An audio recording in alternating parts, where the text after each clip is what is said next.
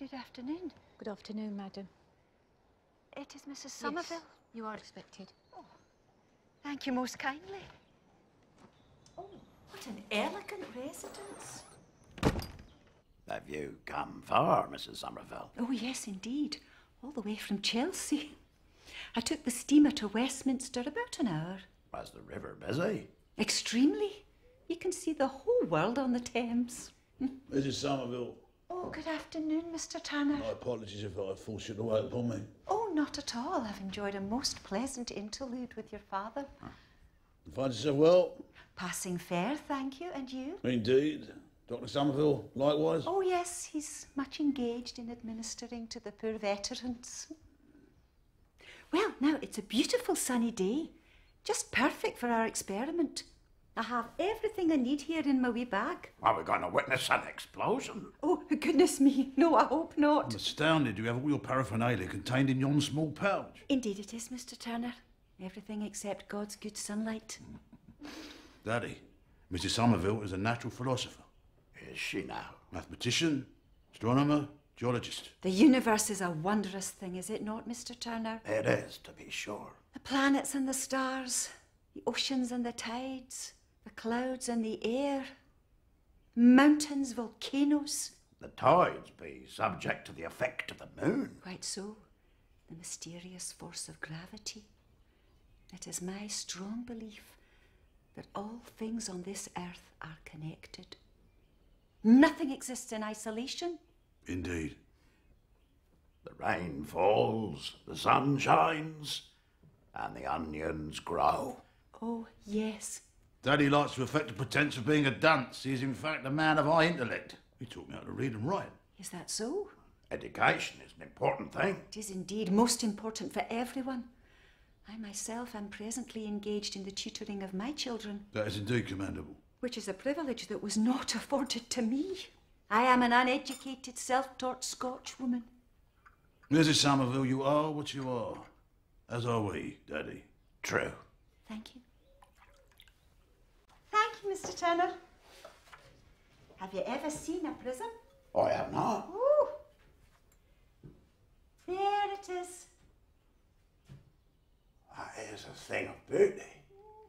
Shortly you shall witness a rainbow passing through it. Sir Isaac Newton, Daddy. Ah, Gentlemen, uh, might I request that you close the shutters, please? Daddy. Tell us when to cease, Mrs. Somerville. You need to create an aperture to strengthen the colours. Mm. There. Daddy! Let us put the paper in place. Daddy, some tacks from Mrs. Oh, Somerville. no, no tacks, Mr. Turner. The metal could contaminate the experiment. A wee nub of wax.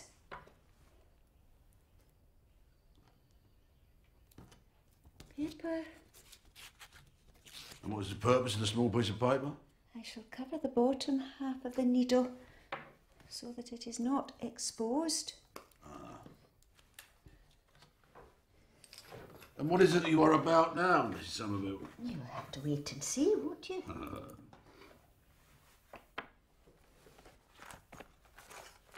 Daddy, I wager that is the first time you've witnessed a hammer being produced from a lady's reticule. for certain 'tis.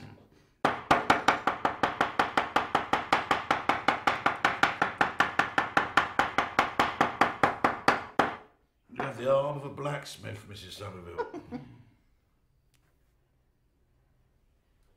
There now. That has thrown all those wee particles into chaos.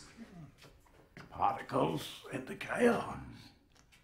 Mrs. Somerville, what is the element contained within the violet light, such as magnetises the material? That is what, as yet, Mr. Turner, I do not know. Ah, the majesty of mystery. Indeed. Now, let us allow nature to take its course. Although we will have to adjust the position of the easel from time to time. Indeed. As mighty Apollo moves across his heavenly track. Yes. There. Shall I make it do a wee dance?